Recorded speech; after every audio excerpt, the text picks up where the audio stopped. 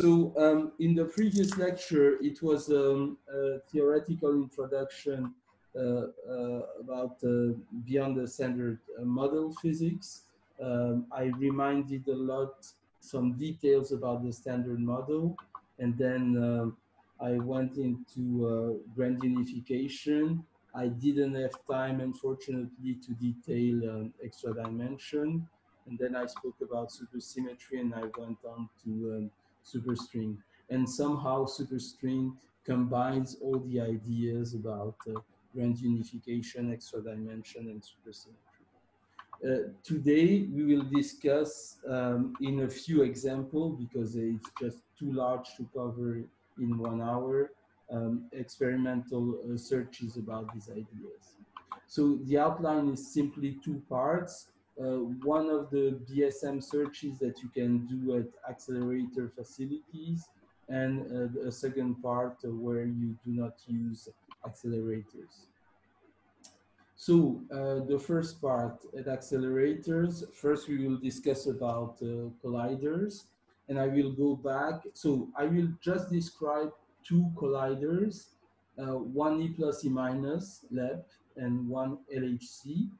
They are all at CERN or were, and th these are the two largest uh, collider ever built.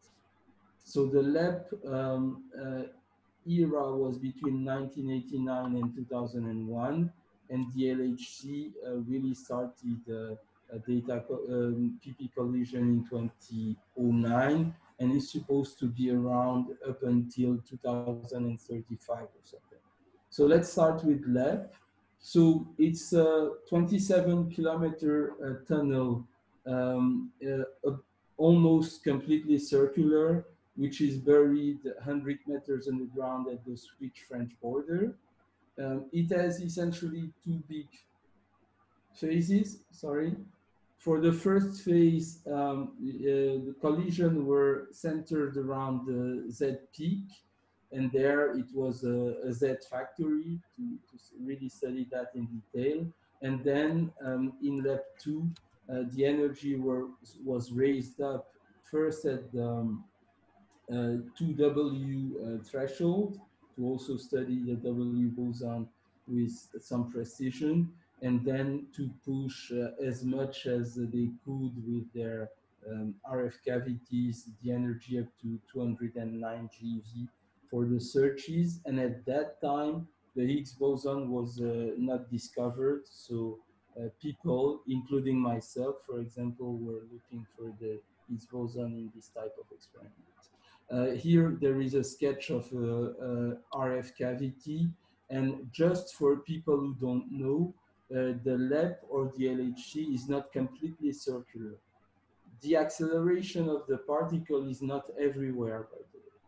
Um, in, the, magnets that you have, you have straight sections where you actually really accelerate the particles. And then you have dipoles uh, just to maintain that in the, in, in the circle and uh, focusing magnets, which are quadrupoles, sextupoles, etc but the, the real acceleration is done in straight section. Um, just and, and, there is also a, a, a photograph to show you um, uh, some kind of drawing on a map of the SPS and the LHC compared to the size of the uh, CERN, uh, uh, no, sorry, the Geneva airport.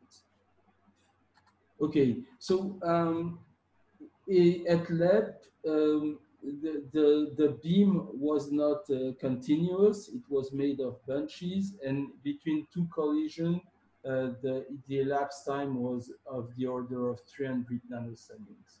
The typical uh, uh, instantaneous luminosity was 10 to the 31 or 10 to the 32 per centimeter squared and per second. There was a nice measurement of the, the energy, so the spread was uh, down to uh, one uh, 10 to the minus 4, and there was um, a, a, a, small crossing angle. Here I, I um, uh, document the integrated luminosity that was delivered at different center of mass energy during LEP 2 I was working in the L3 experiment, and these were the different um, energy that were uh, uh, scanned somehow by the machine and data were taken. Okay, at LEP, if you see on the left-hand side, there were four experiments, Aleph, Delphi, L3, and Opal, uh, for um, general purpose uh, experiment. I make a, a, slight zoom on the L3 experiment. You have uh, um, a big tube that supports the, uh, the vacuum tube for the, for the beam. And at the center, you have tracking detectors uh, calorimeters. Uh, in particular, there was a, a very nice uh, crystal calorimeter for the EM part in, in this L3 experiment, then a hadron calorimeter, and outside of that, you have a muon spectrometer and you have uh, two two magnetic field, one in the center, a solenoid uh, of about half a Tesla, and a toroid uh, in the external part of a bit more than than one Tesla. I show you, I won't detail, but a few performances uh, with different resolution for the tracking, the calorimetry, and you can see, for example, an, an excellent uh, uh, energy resolution for the EM calorimeter, thanks to the crystal that are displayed here. It was BGO crystal, so uh, bismuth germanate, um, and it was uh, very uh, well performing. And then also some resolutions for the for the movies. Um, on the other end, the, the, the, second uh, collider I want to describe is the LHC. It can collide uh, protons or, or also lead ions. It was made in the same tunnel as the LEP. The LEP was dismantled and the, the, the LHC machine was built afterward. It has also a good uh, energy resolution, but uh, of course it's uh, much easier to, to do with for protons because they radiate less than the electrons and um, the crossing angle is, is very small. Uh, here you have a table of all the run that were already taken, so run one and run two, and also the, the features of run three that we're about to start in uh, less than one year now.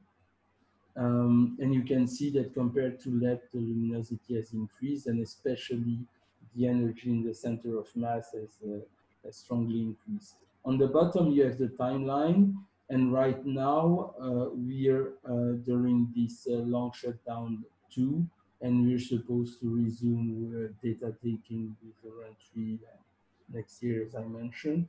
And after um, the the long shutdown three, there will be two more run, run four and run five at very high luminosity. Uh, so the goal uh, after run three is to accumulate 300 uh, inverse femtobarn of data and gain an order of magnitude uh, with that in the so-called program, which is HiLumi LHC. Here on the right, I show you, yes? So, sorry, um, just for the run three, the date, the years are, uh, I think there is a typo, right? Uh, from 2021 to 2023? Or? Yes, that's right. Three years of data taking. Yeah. Uh, and, and, then uh, on, on, the right, I'm just showing you um, a dipole. So these are very big dipoles, 15 meters long. I don't remember how many ton it weighs. And these are superconducting uh, uh, magnets that deliver a magnetic field uh, above 8 Tesla. And, and on the top, it's just the, the, the, the tunnel buried under the surface with the different experiments Atlas, CMS, LHCb, ALICE, and SPS and the rest of the injectors. Um, okay, I, I want to show you also that at the LHC, uh, there was there is a phenomenon that is uh, a, a, bit annoying. It is due to the uh, high luminosity that we try to reach, uh, but at each uh, bunch crossing, um, bunches of 10 to the 11th proton collide, and within this bunch crossing, th there are more than one PP collisions. So you can see, for example, here from round one at the bottom, uh, candidate Z2E with 19 additional uh, PP collisions that you can recognize as the, the point where the, the tracks are originating from. And you can see that these are distributed along the, along the beam and that's how uh, we can recognize them because we have their um, uh, de tracking detector with very good resolution. Uh, this phenomenon is related, as I mentioned, to the instantaneous luminosity. And on the top left, you have the distribution of the, um, the evolution of the instantaneous luminosity for all the data that were taken at the LHC, uh, starting from run one up to the end of run two that you can see here. And you can see the slopes also with uh, this evolution. Um, for the run two, uh, you have on the top right a distribution of the number of PP collision per bunch crossing. And you can see that in average, it was 33 collisions um, uh, PP collision at each bunch crossing. So you need to uh, tell that apart to, to do your analysis. Uh, at the LHC, there, as I mentioned, there are uh, four experiments, two uh, general purpose, ATLAS and CMS, ALICE, which is specialized for heavy ion collisions, and LHCb, which is a single arm detector uh, specialized for uh, uh, B physics. Um, on the bottom, you have um, a, sketch of the ATLAS detector. And so it's, it's about the same uh, cylindrical um, uh, geometry. And in, in the center, tracking detectors, um, and um, then calorimeters, and uh, at the uh, at the outer parts, uh, a muon spectrometer. Here you have uh, also some performances in terms of uh, resolutions for the tracking, the calorimetry, and, um, and the, the muon uh, system. Um, on the top right, uh, I show you also a sketch of how the, the interplay between the, all the, the different subdetectors can help us identify the particles. So for example, if you take uh, um, a particle which has which leaves a track, it means uh, it's a charged particle and then showers in the EM calorimeter, this is likely to be an electron. Um, if you have the same uh, uh EM shower but with no tracks associated, this is likely to be um, a photon. Uh, the hadrons will traverse all the EM calorimeter. They may start their shower there, but most of the shower will develop in hadron calorimeter. Here again, if you have an associated track, it might be a particle, I don't know, like a, a proton or a kaon. And if it, it, doesn't have a track, it could be something like a neutron.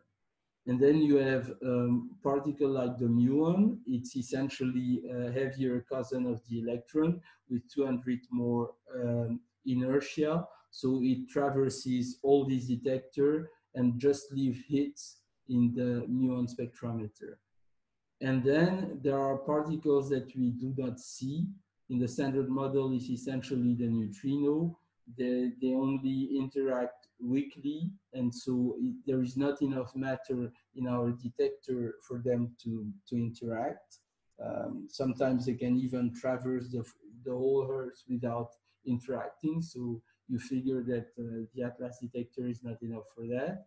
And you can only infer uh, in the transverse plane uh, the presence of neutrino by an unbalance of the momentum in the transverse uh, um, also something which is uh, present for E plus E minus collision, but is really crucial for PP collision is the online selection known as the trigger. On the left-hand plot, you have, um, as a function of the center of mass energy, you have uh, the, the cross-section of different uh, processes. um, of the standard model, and the the on the left hand side, on the right hand side, sorry, uh, you have this uh, cross section axis which is converted in event rates, and you can see that the total cross section is really orders of magnitude of processes that are really of interest for us. You can look, for example, at top production, Higgs boson production with, with different mass hypotheses. These are really orders of magnitude below the total cross section. And there is no way to collect just all of the, these, um, these data and write that to tape. Uh, so there, there is, I won't enter into the detail, but there is a, a system with um, uh, different levels that select uh, interesting events online and finally write this uh, to tape. Only at the last part of the uh, this system, which is called the event filter, there is a first reconstruction of the complete event. And I want to uh, finish the first part about the, the accelerator uh, instruments by showing you also a panorama of the future colliders, which are being uh, uh intensively uh, discussed now. So um, you might have, so at the LHC, as you know, in 2012, the main discovery, the light, was the discovery of the Higgs boson, right? So the LHC can already do an impressive uh, work in uh, measuring the, the, property of this particle, but you would need really um, a new environment, cleanest environment to reduce the um, systematic uncertainty and to really have the maximum of um, clean events with uh, uh, a good statistic about the Higgs to really uh, continue this work and gain um, uh, gain precision in the in measuring the property of the of this boson. And so um, the, the the there is a consensus now in the high energy physics community that the next machine to be built should be an E plus E minus collider. And essentially you have two big techniques, either linear it could be the ILC in Japan that you have the sketch on the top left here, or the CLIC at CERN, or you can have also circular machines like the FCC, which is a CERN project. There is about the equivalent uh, with the CEPC that could be constructed in China.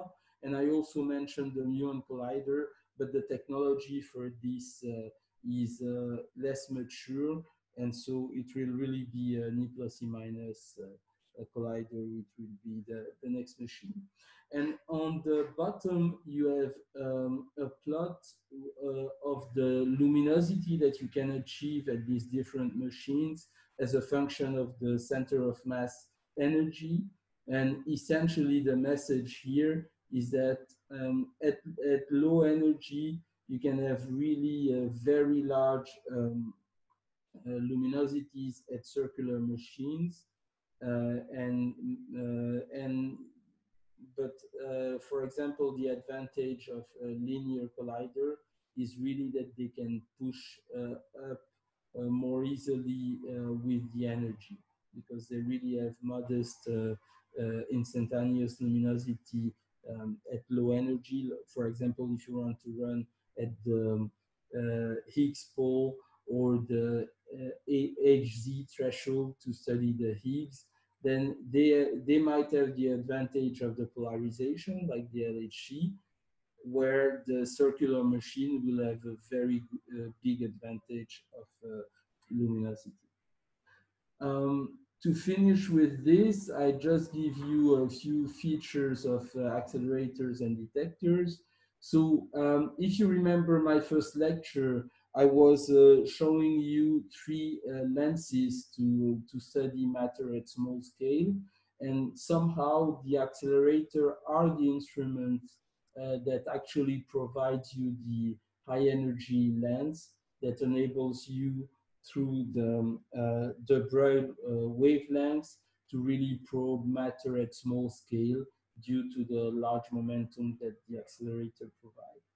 And so you have essentially, as you know, two ways of using these beams, either on fixed target with a center of mass given like this as a function of the mass of the particle and the energy of the beam, or in collider, which is more efficient as you can see. Um, the, the basic definition of the instantaneous luminosity is given like this. If you have, for example, in each beam n particle and a revolution frequency, which is f, uh, then the luminosity will be given by this formula, uh, where uh, in first approximation, for example, you can think as a Gaussian distribution for the density of the, um, of the beam along the x and the y direction, and you get this formula for the luminosity. You can integrate that over time, and this is the integrated luminosity. And what is important is that given the luminosity and the cross section of a given process, you can calculate the rate of the events uh, for this process um, it's just the cross section times in the instantaneous luminosity. And you can get also the total number of events that you'll get there by multiplying the cross section uh, by the integrated luminosity. Um, essentially for the detectors, what you should know is that there, there, there, are essentially two strategies. One for the trackers and the other for the calorimeters. For the tracker, what you want is to measure the tra trajectory essentially of the uh, charged particle by presenting to the uh, these high energy particle low uh, density material that will just leave hits but uh, uh, perturbate as less as possible the trajectory of, of this particle.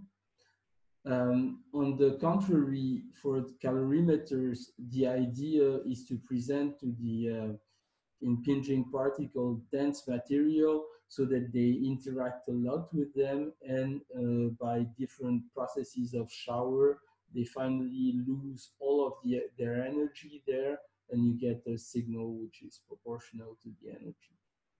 Um, it, there are different figure of merits. I don't go into the details for the detector, the resolution that I already mentioned.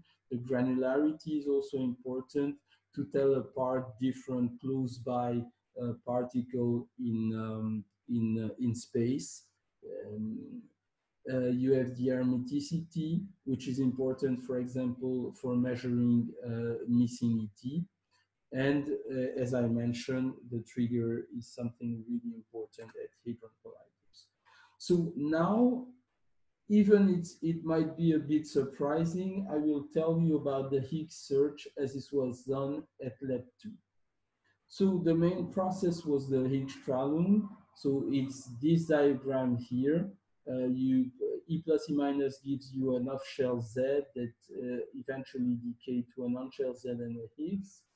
Um, and you, you have uh, the typical cross section for that at the highest energy achieved by the LEP. Uh, at the time, this search uh, uh made the hypothesis of mass of 115 GeV. We now know that it's 10 GeV more.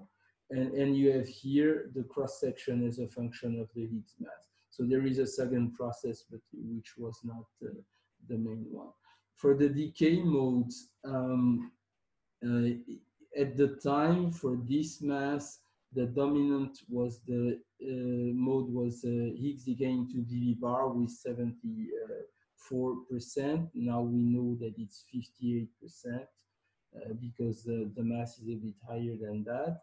But uh, it's still the dominant uh, decay mode for the Higgs. So in this context, B-tagging, of course, is something crucial.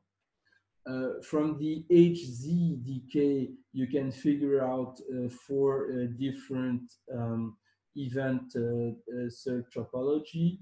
Either the Higgs, for example, is decaying in BB bar and the Z in, in quarks. So this makes you a four jet topology or the Z in neutrino and Higgs to BB bar. So you have here two acoplanar B jets uh, or you can have the Z decaying into leptons. Here by leptons we mean electrons or, or muons and the X decaying to B, or you can have the taus uh, coming in from the size of the Z or the, the Higgs boson. Um, here on the right, you have um, a, a, plot showing you the cross section of the different processes, uh, background processes uh, with respect to the Higgs search. And you had, for example, QQ uh, and possibly radiative return uh, with the emission of a photon, and then uh, passing the threshold for, of twice the mass of the W, you start producing W pairs, and the same appears with Z pairs here. And you can see that the Higgs uh, production cross-section is just this small, tiny thing here, orders of magnitude below this main background. So I will just detail uh, one channel here, the B bar nu bar channel. So the preselection uh, was requiring to have a high uh, di uh, mass, a large missing mass as well, because at an E plus E minus collider, you can calculate the missing mass and a small acollinearity. Um, there was a, a, kinematic fit made to improve the resolution on the BE bar reconstruction. And the constraint here was that the missing mass should uh, peak at the Z mass. Um, most of the uh, different uh, variables used to discriminate um, the signal from the background were uh, given an, as input with the B tagging for the two jets uh, into a neural network and uh, the, it was in the end the combination of the neural network output and the reconstructed Higgs mass from a 4C fit that was used.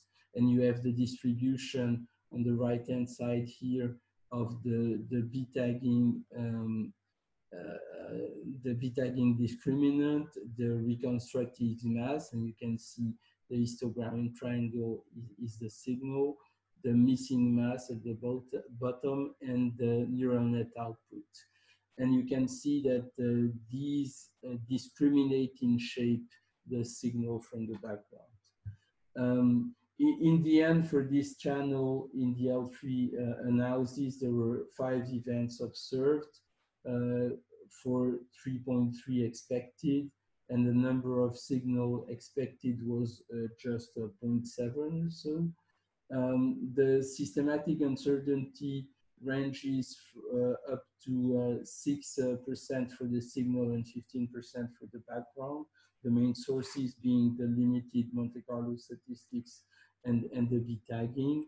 And you can see, for example, in the uh, right uh, plot, the, the exclusion limit that was set by the L3 experiment combining the four uh, LEP experiment, it pushed that uh, a bit further by a couple of GeV, but essentially it was a, a negative result.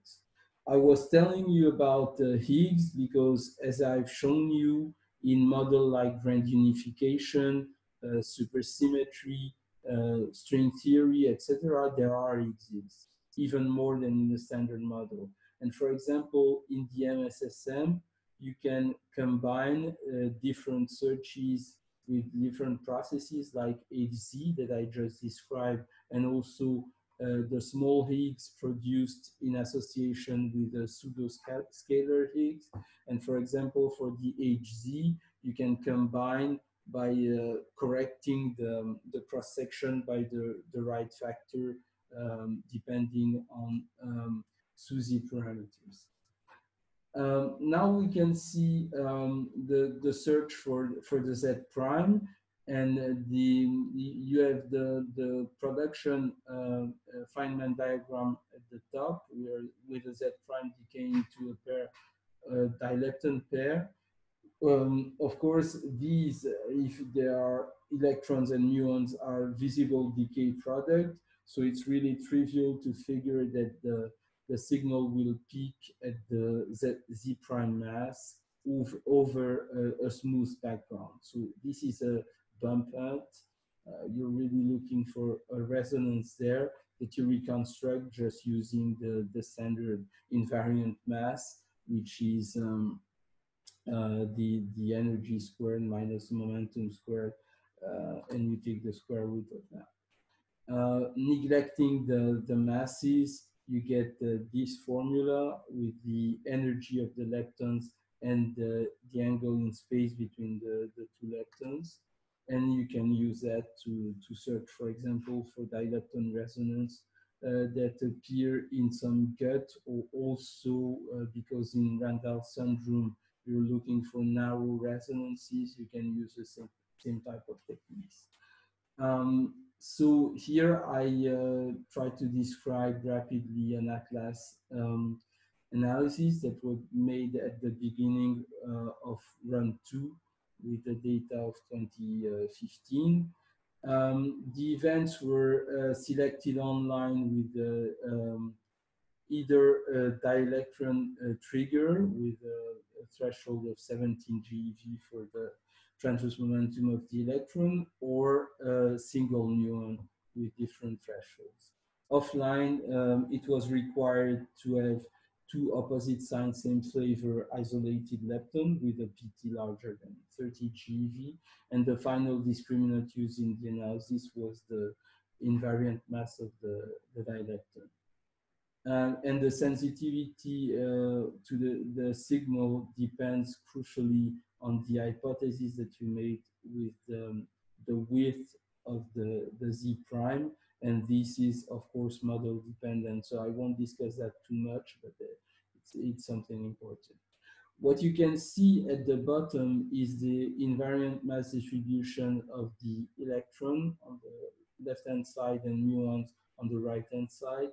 And you can see, uh, for example, here that there is a experimentally you see a big uh, difference in resolution in favor of the electron at, at, high energy here compared to the muon where the peak is much broader. Um, but it's important to have the peak as narrow as possible uh, so as to discriminate it from uh, fluctuations that you might have uh, for the for the data. Um, so the uh, um, no excess was found with respect to the expectation of the standard model. So um, uh, exclusion limit could be drawn. And here you have uh, the experimental observation here. The dashed line is the expected uh, uh confidence level. The green band represent plus or minus one sigma um, uh, with respect to the expected and two sigma for the for the yellow band and you have here uh, three different z, z, prime with different couplings um, and you can see the, the limit uh, is in the TeV range about above 4 TeV. Um, you can do the same uh, in searching for W prime but uh, as you can see in the um, uh, Feynman diagram here, you will have one um, charged lepton and then a neutrino. So you have a missing ET here. And so you cannot reconstruct the, the complete mass.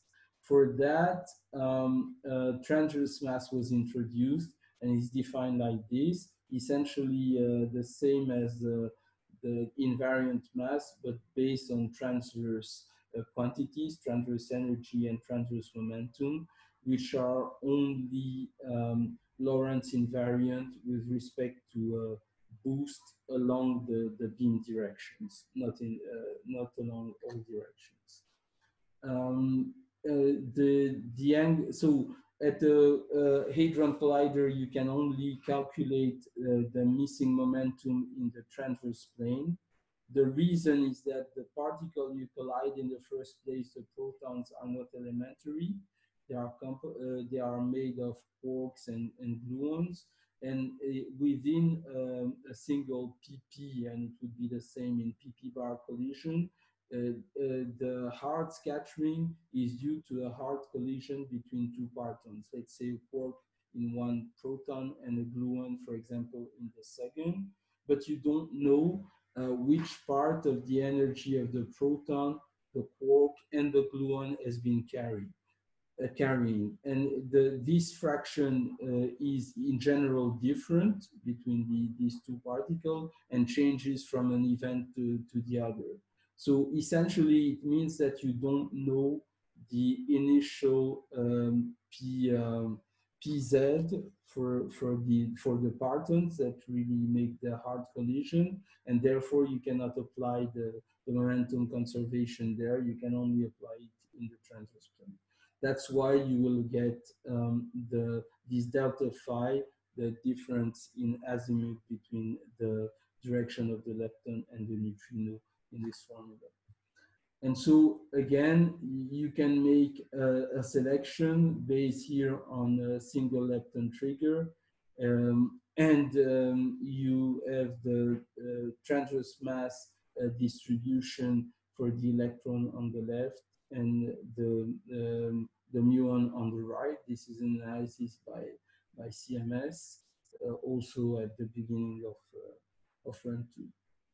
Uh, they didn't find the excesses, so they could uh, derive uh, exclusion limits close to 4 TeV for each channel. And by combining, they would gain a bit, not so much, few, um, the order of 100 uh, GeV for this exclusion limit. Now we can try to see um, how to look at the LHC for, for supersymmetric particles. I took the two example, one of uh, um, strong uh, SUSY production. So this mimics uh, QCD, but uh, with squarks and gluinos. And I will also mention SUSY electroweak production. So um, the particles um, uh, that uh, undergo uh, strong interactions are the, the squarks. And for the first and second generation, they are essentially degenerated in mass. And for the third generation, since there could be uh, large mixing, you can have, for example, light stops or, or light bottoms. Uh, here you have different uh, leading order diagram um, to show you how the, the squarks and gluinos are produced by pair. Um, for the electroweakino, so these are the, the partners of the um, uh, gauge boson and Higgs boson in, in, in SUSY. Uh, you have uh, the charginos and the neutralinos, but uh, here we also consider the case of uh, slepton production, even though, as you will see later, they have a, smaller production cross-section. So you have all these graphs, and here, for example, for the, I think it's for the sleptons, you also have Feynman graph of the uh, one loop corrections to that with real emission and virtual emissions.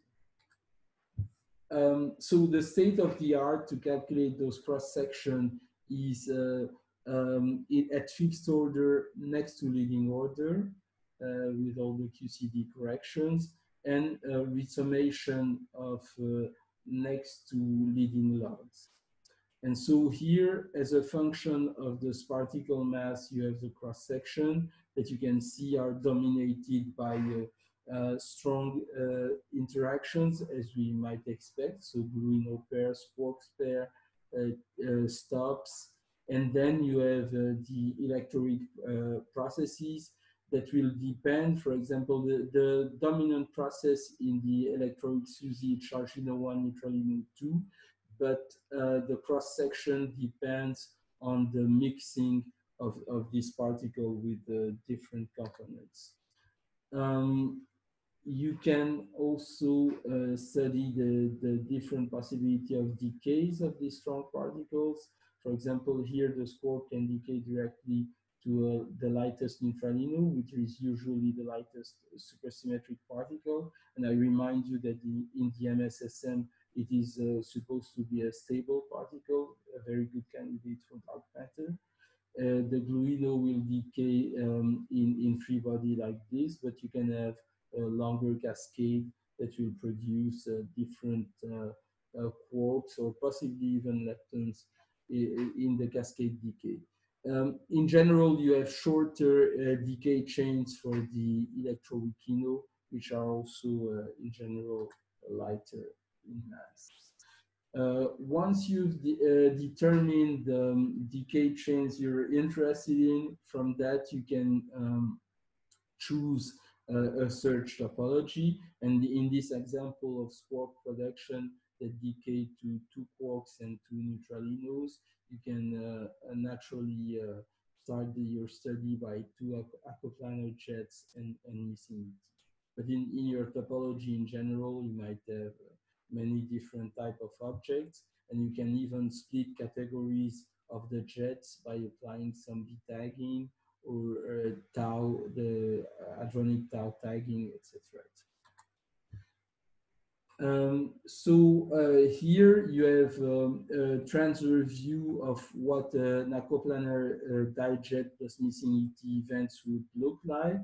Uh, so this is a transverse view of the detector, and you can see that the two jets are, are going to one hemisphere, and on the other hemisphere there is nothing. So essentially that's uh, where the missing ET uh, vector would point in the transverse plane.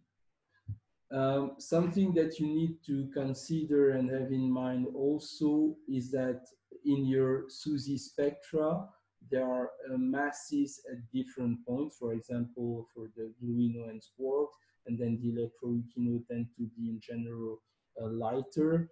And for your cascade decay, um, the, the jet, for example, which is emitted, uh, will depend on the on the mass difference there are uh, in between the two states uh, where it's emitted in, in, in this cascade. So if the, the, um, the masses are close by, then the object uh, uh, emitted uh, as intermediate will in general be soft. And if you want to have a high PT object, you need to have large mass differences. Um, okay, uh, usually for uh, many analyses at the LHC, we use um, variables that you can see here. So first of all, you have the, the beam, uh, uh, which is uh, along the, essentially the, the axis of the detector. Um, and you have phi in the transverse plane as an angle, and uh, theta is the inclination angle with respect to, to the beam line and you can uh, define um, the rapidity of the particle. It's the y here. When it's the particle is ultra relativistic, that means you can neglect the mass uh, over the energy. You can use a pseudo rapidity defined directly with the theta angle here. And in space, in order to tell apart the different direction uh, where the particle are emitted, you can um, look at their difference in pseudo rapidity and in phi, and you can even measure an angular difference like this. It, is this delta r. And often in um, topologies with jets, we uh, want to make sure that the missing ET in the events uh, is not uh, coming from a mismeasurement of the jets, so in general, you tend to uh, require that the delta phi between uh, any jet and the missing ET be larger than uh, some value. Uh, I want to present you a bit uh, more variables uh, which are linked to supersymmetry, but could also be applied to other searches. for example, you can guess um, the typical mass of the new physics you're looking at by um, calculating this effective mass is just the um, uh, sum, of, scalar sum of the PTs of the different objects you have in, in your event. And typically, for example, if you in SUSY you're interested in a production of a gluino and squarks, the, uh, uh, the effective mass will give you something uh, related to the minimum between the gluino and, and the squark mass. It can also be used, for example, for studies like Z going to, to uh, Z prime going to TT bar. And you can see in this plot the correlation between the true uh, TT bar mass uh, um, and this effective mass, which is HT. Uh, the first term here, uh, scalar sum of the PT of the jet plus the missing ET. Uh, in this topology, which was fully hadronic for this example.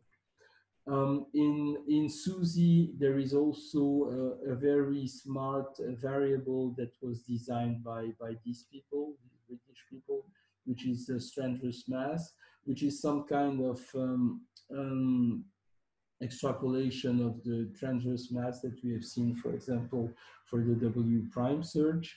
Uh, the, the definition of the, this uh, transverse mass MT2 is uh, here.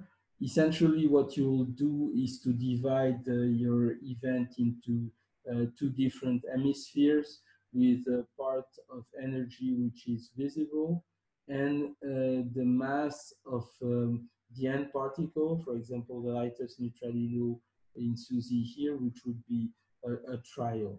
So what you do is to separate these in two and uh, distribute the missing ET vector into the two hemisphere and calculate the minimum of this uh, uh, distribution uh, over the maximum of the transverse mass calculated with the visible uh, part in one hemisphere and the attributed uh, missing ET uh, contribution, uh, given the, the, the invisible particle mass that enter the transverse mass calculation in this way.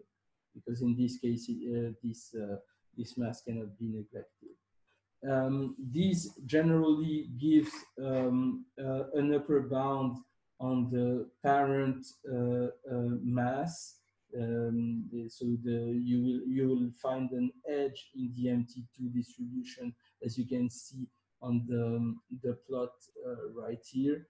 Uh, when so, for example, this is a TT bar um, um, these are TT bar events in the dilepton channel. When you make the right uh, assignment for B and the corresponding lepton, you find an edge in this distribution. And where you have the wrong combinatorics, you have this, uh, this red histogram. But th this edge is something very important because it gives you uh, information about the mass of the parent particle. And then there is an additional property of these is that um, if you change the, the hypothesis of the invisible particle mass, you have the plot on the bottom here, and you have essentially two trends. When uh, the um, when you are below this mass in reality or above this mass, and you can see that the the there is a kink where uh, the, the, the this variable will change slope. And at the precise point where it changes slope, it enables you to measure on the vertical axis the mass of the parent particle and on, um, and on the, the x-axis the mass of the invisible particle. So in case you really discover something, um, uh, SUSY or whatever else uh, BSM physics uh, with this MT2 variable, it can give you access to very important um, uh, characteristic of this new physics here. Uh, so here I want to present you a search that uses this uh, mass, MT2. Um, so it's a search of squark and gluinos in a topology where you only have jets, uh, no lepton and some missing ET. The main background there are uh, Z plus jet with Z decaying to neutrino and W plus jet, where the W is decaying to, to a lepton and neutrino, but the lepton is misreconstructed or completely missed. And then you have also have some background from TT bar and QCD. So this was um, the, the second part of uh, run one here uh, in, CMS, uh, people who did this analysis. So essentially they are looking at the multi-jet plus missing ET um, uh, topology. Uh, they require, in order to suppress um, um, background that would come from a mismeasurement of the jet energy, as I mentioned, a delta phi between the, the jets and the missing ET. And then they split up their signal regions um, with respect to the number, total number of jets in the events and total number of B jets in the events. and you have uh, different categories of events with high um, HT, medium, or, low HT. Um, uh, you can see distribution of the MT2 for these different category of events, and you can see that you have a good agreement between uh, data and Monte Carlo. When you look uh, more closely at uh, each um, signal uh, regions, you can see that you have um, uh, more or less taking into account the full um, uncertainty a good agreement, a few excesses here and there, but not uh, really significant. And since you don't have a significant excess, uh, you can derive uh, exclusion limits. Um, and so here, for example, you have limits in the plane of um, uh, the Gluino uh, versus the, the, the uh, neutralino.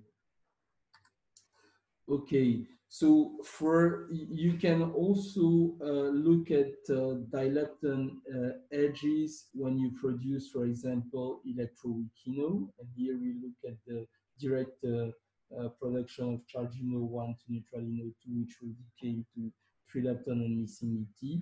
And in this case, uh, the dilepton edge, depending on the um, uh, the way the decay of this particle proceed can be given either by this formula, if you have lepton as intermediate between the, charge, the chargino 1, neutralino 2, and the LSP, or if it's a direct three-body decay, you simply have the mass difference between these two guys.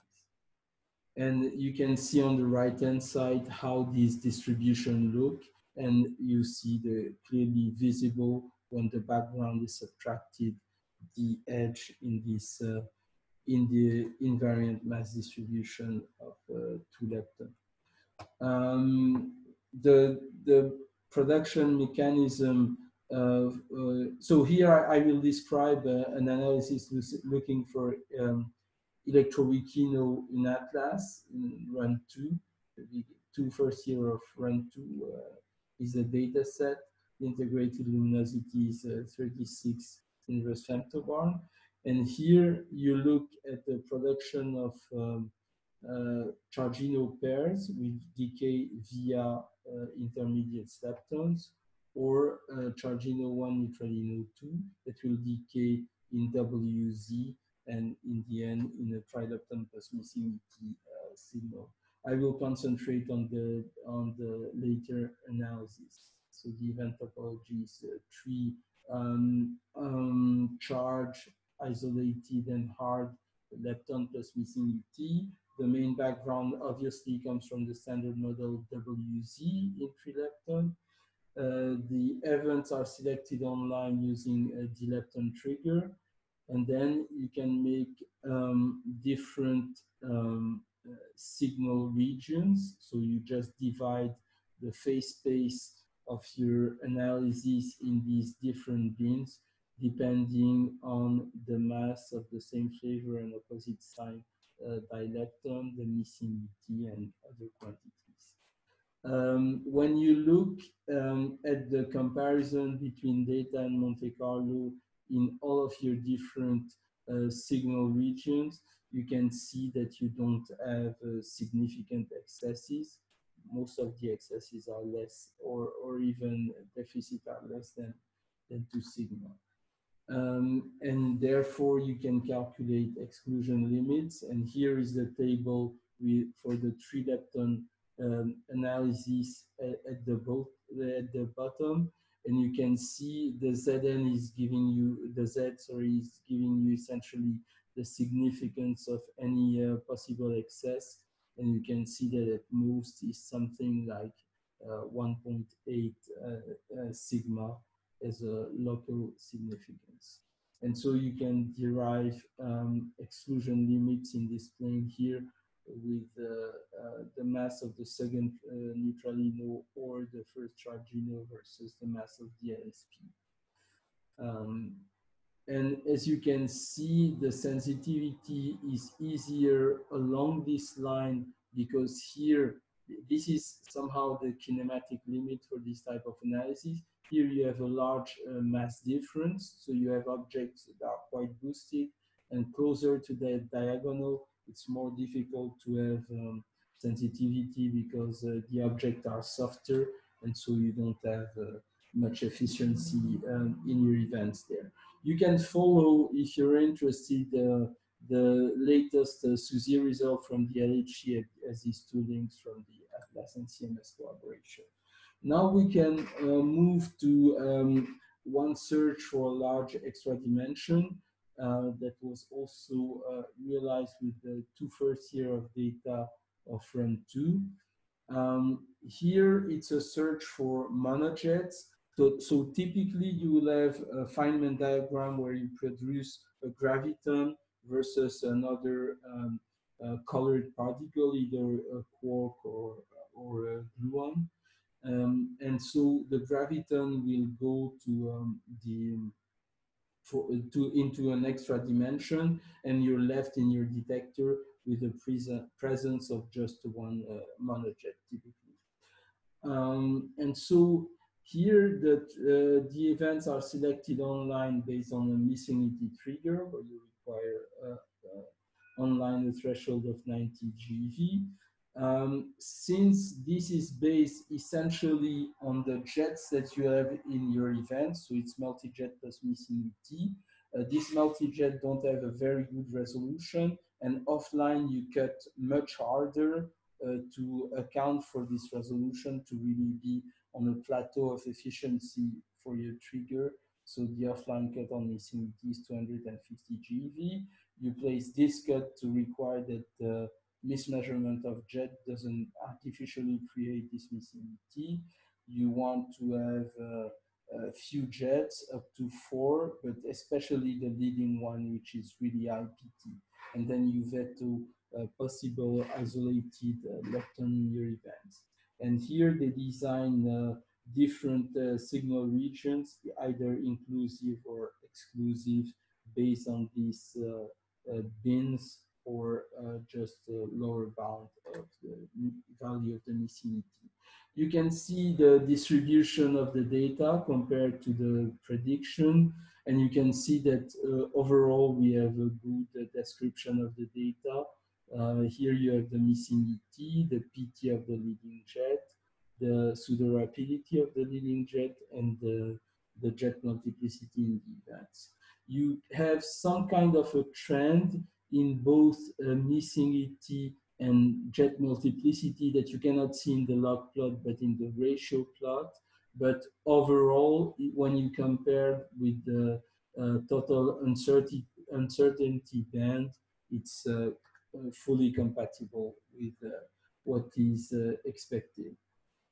Um, so uh, here you have for the exclusion, uh, exclusive uh, signal regions the composition of the background. And you can see that in all cases, the dominant one is uh, Z plus jet with the Z going to, into neutrino.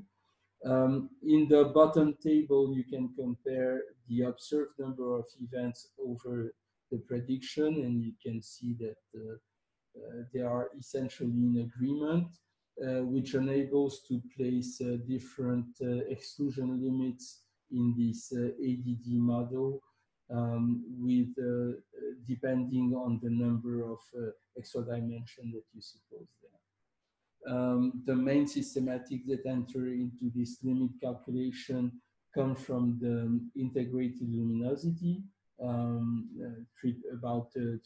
Uh, and then for the background, the dominant part comes from uh, jet energy scale, jet energy resolution, missing ET scale, and they can go up to something like uh, 5%. But then when you sum up with all the other uncertainty, you can go up for your um, uh, largest missing ET uh, bin uh, signal region to something like 10% on, on the background. And here you have um, a limit plot on the um, uh, effective uh, Planck mass. It's a lower limit on the uh, effective Planck mass in, in TeV versus the number of extra dimensions.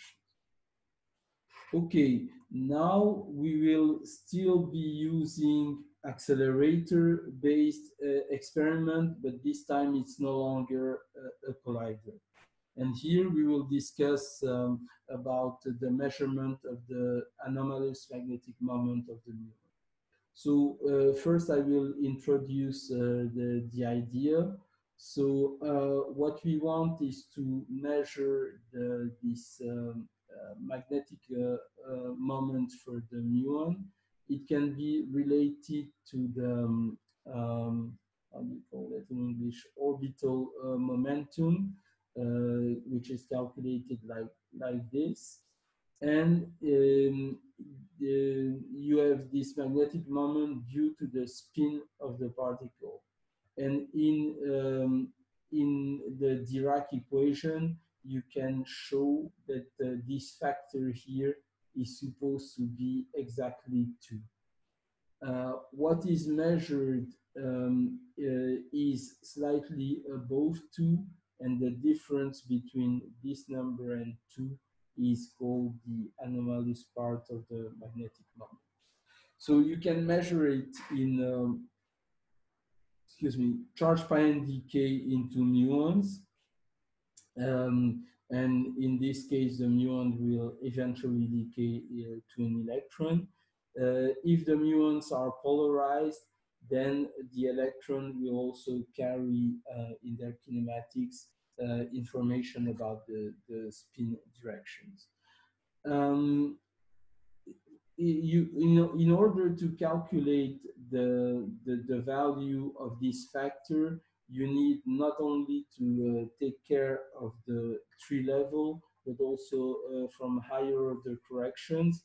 And you can do that in the framework of the standard model alone. This is the top part with these different uh, correcting uh, diagrams, or also in the framework of BSM physics like supersymmetry in the bottom here.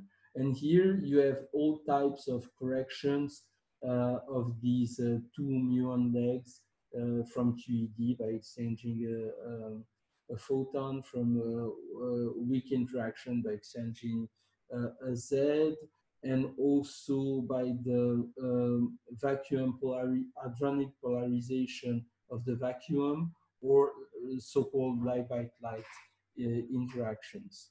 And this can be calculated quite precisely uh, up to um, uh, several loops um, in, in the standard model.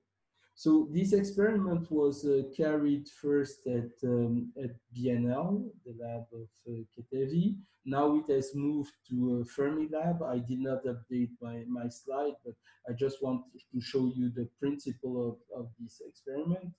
Uh, first, you produce your uh, pion beam by shooting protons on a fixed target um, you uh, select uh, pions uh, coming out of this with a momentum of about uh, 3 GeV. This pion will decay into muons that you um, uh, deflect in order to for them to enter this uh, storage ring. Um, and in the decay, if you look in the pion rest frame, it will decay into a muon neutrino and the charged muon, but with uh, opposite spin. Um, since the, the pion itself has a, has a zero spin. What will happen is that um, there will be a precession of the spin about the momentum. And if you uh, plunge this uh, storage ring into a magnetic field, then you will have a relation between the frequency of this precession and the anomalous magnetic moment. And if you choose a specific energy, you can completely cancel the effect of uh, any electric uh, field. And that's why this uh, momentum here for the muon is called uh, uh, some kind of magic energy. Then you just need to know precisely the B field and you can extract from this uh, precession um, frequency the anomalous uh, magnetic moment.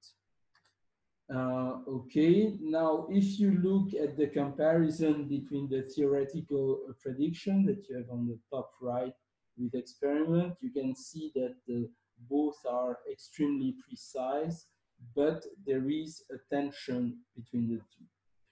Um, so uh, you have that on the plot in the bottom. The red entries are what is measured, what was measured at the time for uh, positive muons and negative muons. Both are in agreement and you can average them to this point. Um, and then you could calculate the prediction uh, for um, uh, from the theory. Um, at the time, there was even in the prediction for the theory a disagreement with what came from E plus E minus and tau decays about the uh, contribution to uh, vacuum polarization. This has resolved with time, so you can forget essentially this being with the tau, but you see between the measurement and the theoretical prediction a tension of the order of three sigma. And so now everybody is awaiting the new result um, that would that should uh, come out of Fermilab uh, maybe in a few months from now. Um, and now I will finish uh, by looking at uh, some uh, BSM uh, ideas without accelerator.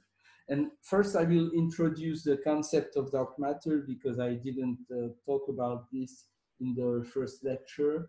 Um, so the easiest way to understand and maybe the most uh, convincing uh, argument about the existence of uh, dark matter comes from um, these rotation curves from, um, from galaxies. Spiral, even elliptic galaxy would work.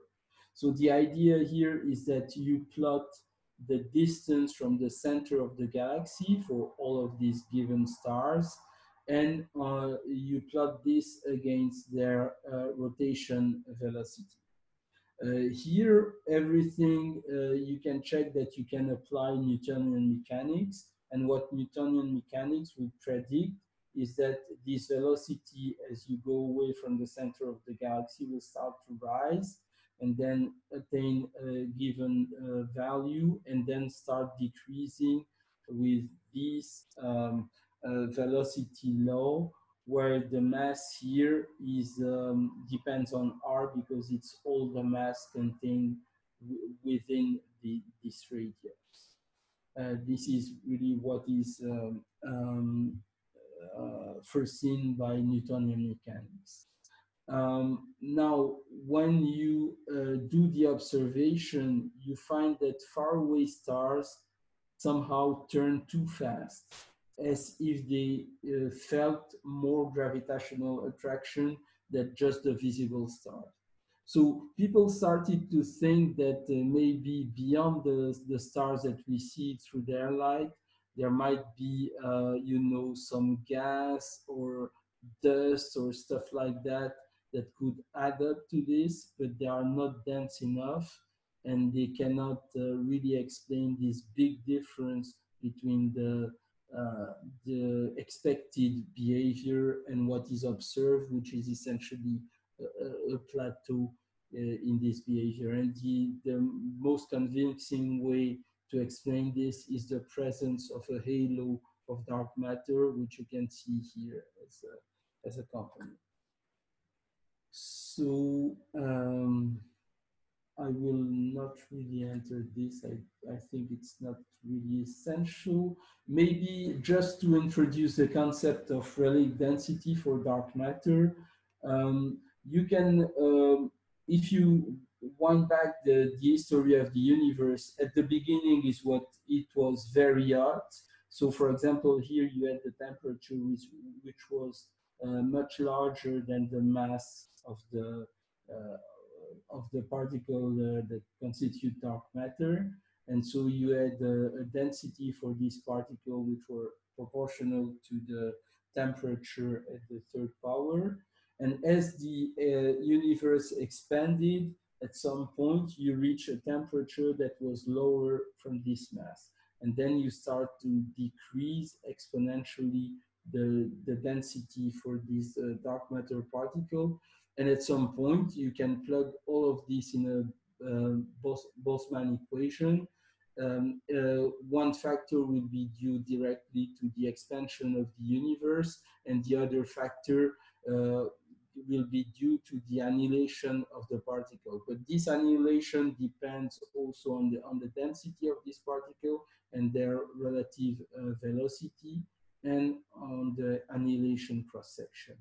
And this can give you um, at some point where when the universe is just uh, um, too uh, diluted, if you will, uh, the the living uh, dark matter particle don't meet meet each other uh, sufficiently frequently, and then you somehow freeze the density at a, a given stage here, and which would explain why nowadays you might have a particle that were really produced or in equilibrium uh, close to the Big Bang, but still leave some relic density today.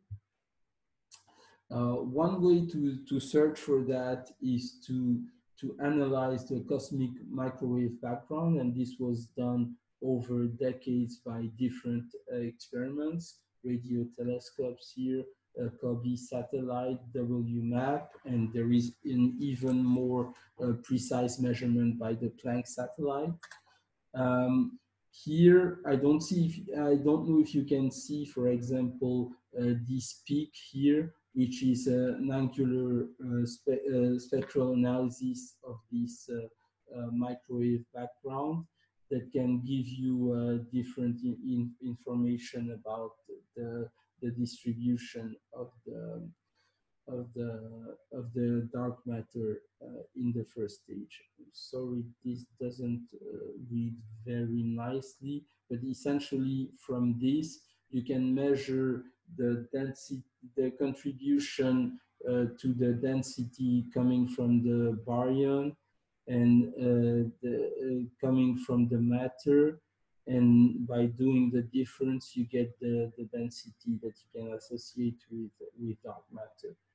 Uh, by doing such analysis, you can um, uh, get to the um, distribution of matter and energy um, in uh, doing some uh, cosmological um, um, uh, fit, fit of, um, of data and, and, doing so, for example, with general relativity as a model, you would find that the universe is made of about three quarter of dark energy um, and then 22% uh, of dark matter and the usual matter is something down to 4 or 5%. And here you have a constraint on the density coming from dark matter. So how can you look for dark matter? There are essentially three uh, ways that are complementary. Uh, we have seen one, which is this. So here it's essentially a Feynman diagram um, where some kind of effective model, if you will, uh, where, for example, you can start, if you start from this side and collide two standard model particles to produce two dark matter particles in the final states. That's typically what you would do at a collider.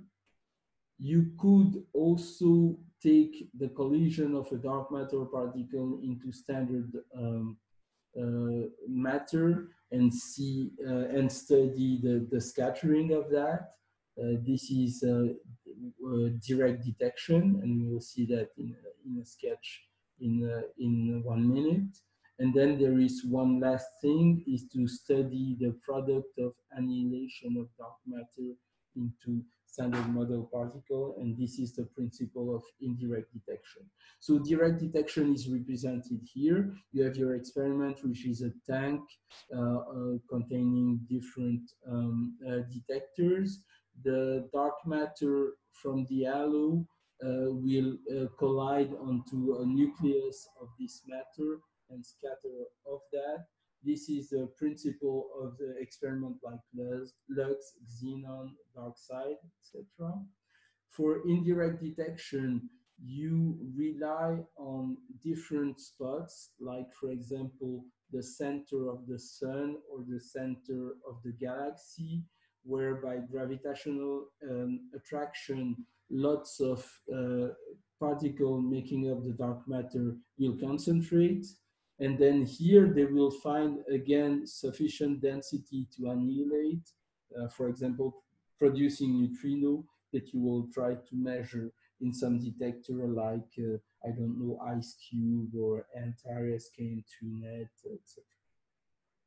If you want a signal, for example, with photons, you will turn it to a detector like S or CTA.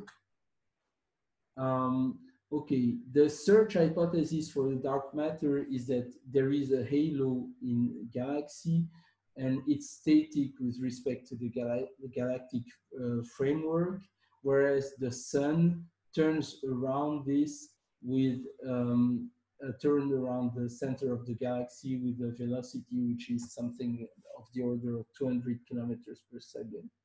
And the Earth also uh, rotates as its contribution, and depending on the time of the year, this will change the, the net uh, uh, velocity here, and you will get an annual modulation in your signal. This can be a feature to, to figure out if you've de detected dark matter. So the dark matter will uh, do elastic scattering on ordinary matter, and typically with a map of uh, a mass, sorry, of the uh, dark matter particle between 10 GeV and 10 TeV, you will get essentially a nuclear recoil energy uh, between 1 and 100 uh, keV. So you see that these energies are not very large, and that's why um, in order to reduce the background, most of the time experiment make use of three different type of signatures. You can either have in your detector ionization, or heat, phonons, or light scintillation. And most of the time, uh, you couple at least two of these technique, techniques to reduce the background. Um, here I will just describe uh, one experiment of direct detection, which is uh, Xenon, which is placed uh, in the National Laboratory Gran Sasso in Italy, um, below a mountain. Uh, to um, to shield from from the, the cosmic muons. So it's essentially a, a dual phase uh, TPC, a time projection chamber, where you have liquid xenon in this part here, gaseous xenon here, and essentially what you need to do is to distinguish between um, electron recoil that can come from any particle, like for example, a photon here uh, knocking off an electron that will give a certain type of signal from a really um, uh, re nuclear recoil that you can, for example, simulate uh, in um, uh, with neutron uh, with with neutron um, scattering of your your nucleon, and this is how the WIMP would interact. So it would give you um, um, a scintillation um, in in the in the liquid here, and then uh, the electron will drift because there is a an electric field uh, here in the liquid and here in the gas, um, and in the, in at the top and the bottom you have an array of uh, PMTs. So since this is in two dimension, this will measure essentially X and Z, and then the, the, the, the arrival time for your signal in your TPC will essentially measure uh, the, the Z, uh, so you can uh, position the place where the possible uh, scatter appear.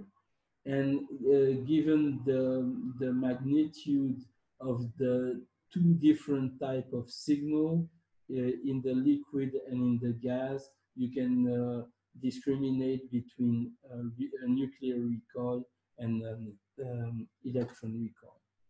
Uh, so far, uh, no signal has been found, at least for large mass WIMPs.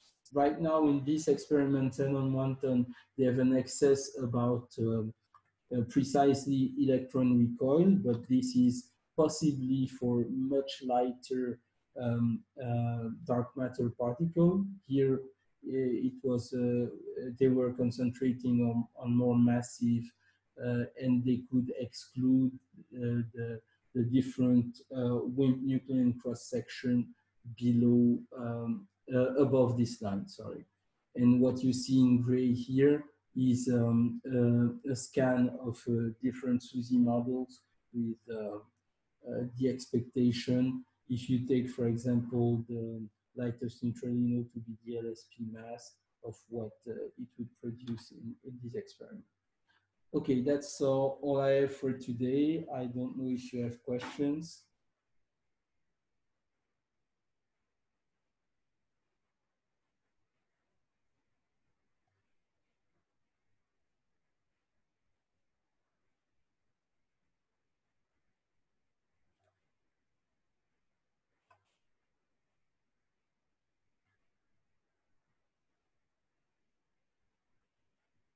Uh, so I see one question from yeah. Becky um, in, in the chat. So experimentally, what why is it difficult to detect neutrino? Well, because they uh, they don't have an electric charge. It's easy to uh, detect a particle with electric charge, and they don't have a color charge either. Um, gravitation is uh, at the level of uh, elementary particle is something completely negligible. So you can think of this particle as only having weak interactions. And because this cross section is small, it's very difficult to detect neutrino. To give you an example, amongst a million neutrino traversing completely the Earth, uh, most of the time only one will interact from.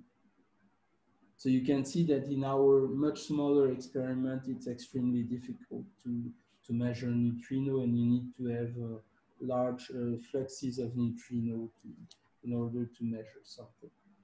Um, and 1.8 sigma uh, means uh, deviation, possibly uh, coming from a statistical uh, fluctuation. Uh, which has a certain probability, but you would need precisely for this to know, for example, if the parent distribution is Gaussian or something in order to, to fully interpret it. But uh, 1.8 uh, sigma is not really significant. Uh, we, we start to speak about um, uh, something interesting above 3 sigma once you correct it for the look at elsewhere effect, etc. So, um, and then 5 sigma is really the, the standard for discovery in high energy physics. Okay? Okay, thank you. Don't know if you have uh, other questions or comments. Uh, I have other question, if possible. Yes. Okay. So Steve is like um, um, sometimes it's like um, they are uh, search for uh, for physics beyond beyond the standard model yes. by by looking at the deviation in, in the standard model interactions yes. or in the standard model particle. Can you, if, if possible, can you give us like uh, an overview for that or the general uh, okay so uh, generally you you can distinguish uh, when you want to look at deviation if you want to have essentially deviation in rate overall rates or shapes. Um, I don't know if you remember when I've shown um, a large extra dimension I, I mentioned that since the uh, graviton can couple to just uh, any uh, energy momentum tensor, they can essentially couple to all the particles. And therefore, if you look at production, let's say, of a, the dielectron, um, you will have graphs where uh, the graviton is also exchanged which are fully compatible with, uh, for example, QQ annihilation at the LHC. And so this will make an interference. And then if you add up to that the gluon um, uh, initial state to produce the, the, the, graviton that will also couple to dilepton the final state, it's additional um, um, uh, events. So um, what it means is that um, you can have both effect. Either you look at um, the shape of a distribution, uh, for example, a mass distribution or an angular distribution. You have some prediction from the standard model and you see a, a distortion in the shape. And then if it's significant, you can try to attribute that to, to new physics or you really do some kind of counting experiment, binned or not binned, it doesn't matter. And also there, um, the, the presence of new physics interaction could also change your rates. And then if it's significant enough, larger than the fluctuation of the background, then you can, uh, if it's five sigma larger than the fluctuation of the background, there you can claim to have made a, a discovery. I don't know if it, this answers your question. Yeah, yeah, indeed. Thank you very much. You're welcome.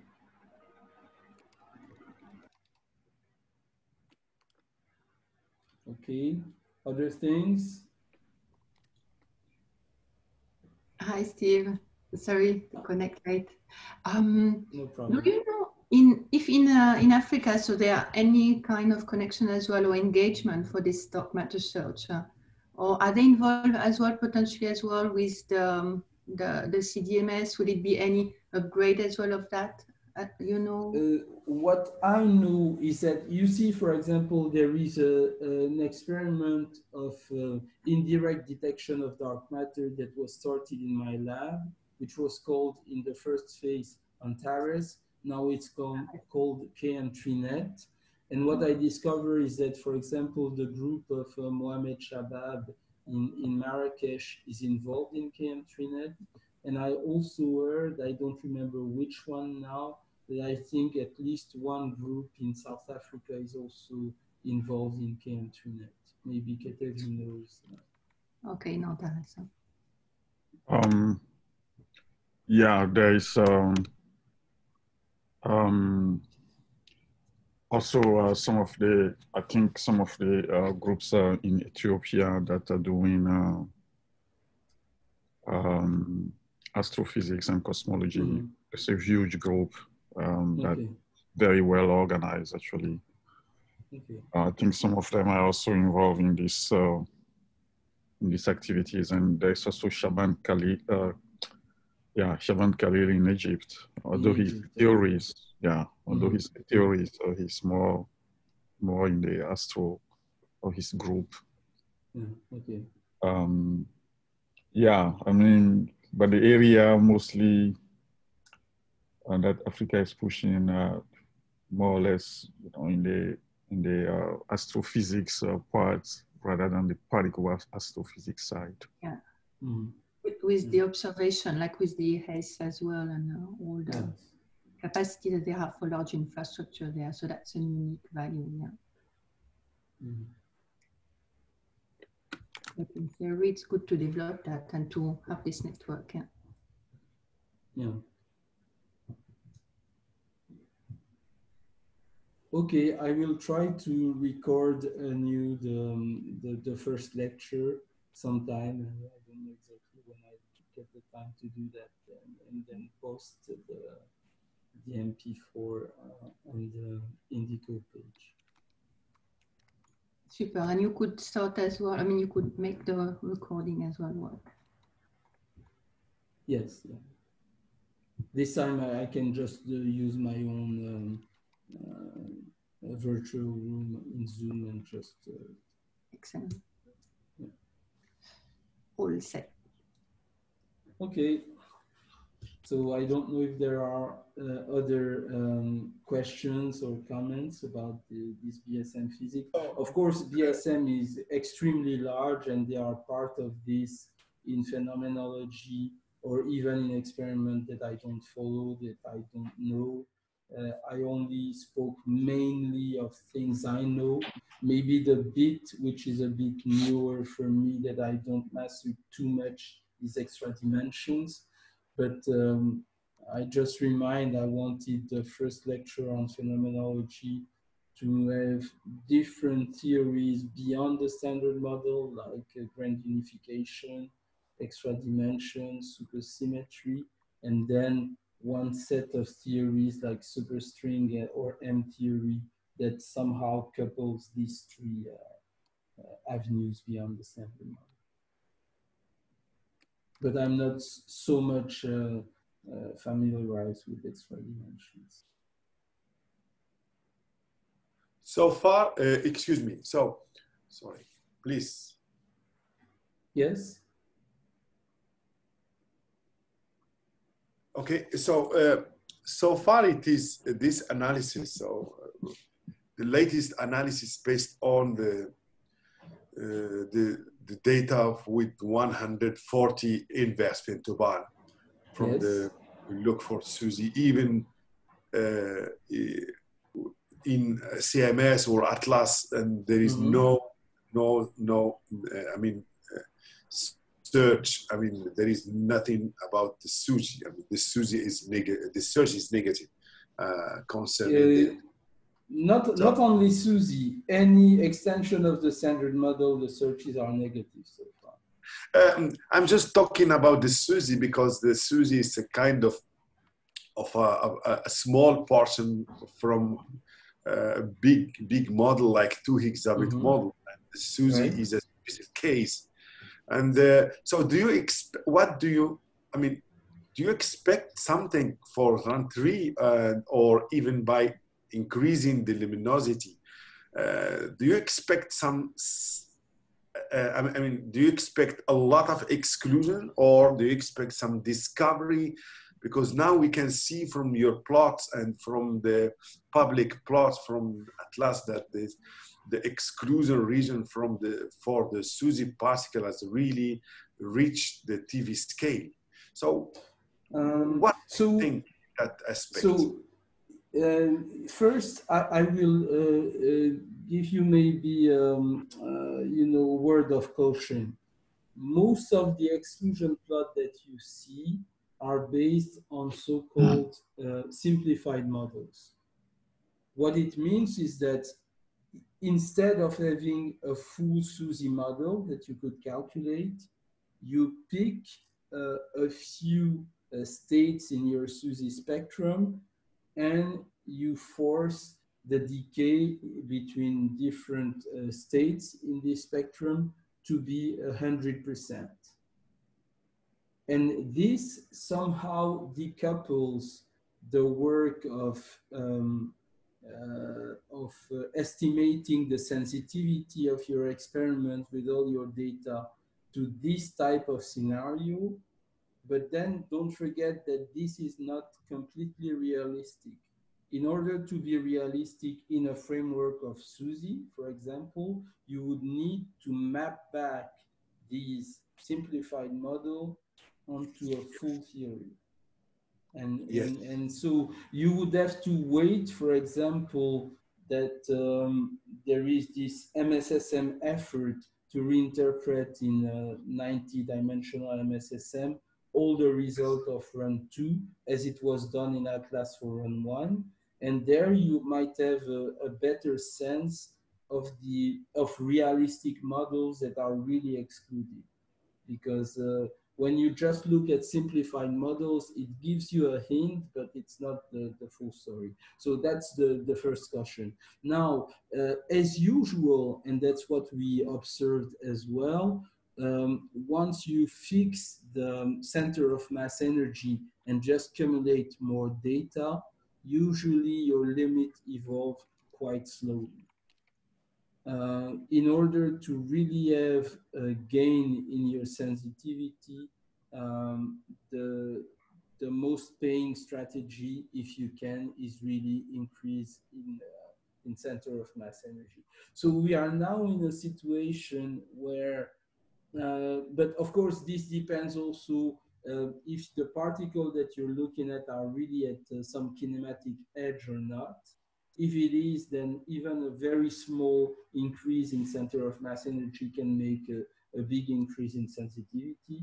But for example, for in SUSY uh, with particles like leptons or chargino and neutralino, you still can have some kind of um, continuous improvement of uh, exclusion limit along run three, even possibly run four, etc. So uh, unfortunately, um, it's not a pleasant situation. We need to be uh, patient. And if we recall um, the discovery of the Higgs boson, in fact, uh, between the theoretical ideas and the first paper and the discovery, it was almost 50 years. And uh, from a theoretical point of view, it's much simpler. The case of the Higgs was much simpler. So um, I think we just need to wait in the front of the colliders, but also uh, pay attention to any other uh, signal that could come from measurement of G minus two, from deviation in the physics, from uh, you know all the all the sectors, from possibly direct or indirect detection of dark matter. Now we're really in a stage where uh, we don't know exactly where uh, new physics will uh, pop in. So uh, yeah. one more question, if possible. Yes. Please. Yeah. So it's like um, um, it's more than uh, like an idea. So I, um, as far as I understand it, um, so um, looking beyond standard model physics is somehow to the detector and to the high energy, which I think um, at the CERN now it is 13, right? 13. Yes, uh, that's right. So yes. uh, would it be possible, for example, um, in order to have like higher energy, like uh, putting a satellite, for example, in the outer space, and then and somehow implement kind of detectors. Uh, so uh, it might it might result uh, it might give us a result because you know it's like they are uh, very energetic particle coming from the outer space. So it's like a, a natural um, a natural source, natural, yes. a, a, natural source or a natural accelerator. I mean, right. Just saying. So, so there are some experiments looking at these. So, for example, mm. there was a balloon experiment called EUSO, or there are a few others. Uh, but the problem also is that it's true that uh, with uh, some uh, uh, astrophysics accelerator, you can have particles at energy far beyond orders of magnitude beyond what we could do with uh, colliders, but there are only uh, very few of them. Cross section there is very small. Um, and so again, I think we should not neglect any of these avenues because, because there is no obvious place. We are almost convinced new physics must exist because you yeah. need something to explain dark energy. You need something to explain dark matter. dark matter. You need something to explain, uh, I don't know, for example, the, the lack of CP violation for baryogenesis. You need something to explain the neutrino mass, etc., etc. You need something to somehow connect uh, gravity with the other interaction. So there are lots of things that you really uh, independently uh, makes uh, you believe strongly that there is new physics. But uh, right now we're really in this type of moments where we essentially have no clue. I like supersymmetry. I would uh, dream of having TeV scale supersymmetry but i have just no idea whether it's there or not. I just know it's important to look but really I, I don't know and in cases where you don't know like this i think it's really important to look everywhere Now, Yeah. uh, just also one word for the future, because, for example, as I mentioned, we are discussing uh, future colliders. And you know that I essentially talked about a next E plus E minus, but for the circular machine that I presented at CERN or in China, so FCCHH or SPPC, I think, uh, these are 100 TeV colliders in proton proton. Oh, So um, 100 TeV. these machines are not decided yet, but it would make a, a jump, uh, um, multiply by seven the center of mass energy of the LHC, and increase uh, the, the, the luminosity at least by an order of magnitude. So if we had such a machine, the, the reach for our different uh, precision studies and searches would be uh, immensely uh, uh, increased. Okay, thank you. Okay.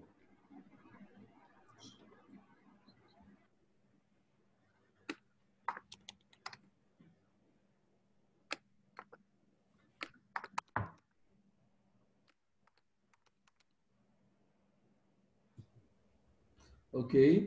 Um, I think if there are no more questions or comments, I thank you for connecting, and I think we can stop uh, this lecture uh, here. Very good. Thanks a lot. Yeah. Okay, thank you very much. Okay, Bye-bye. thank you very much. Bye bye. Bye. Bye. Bye.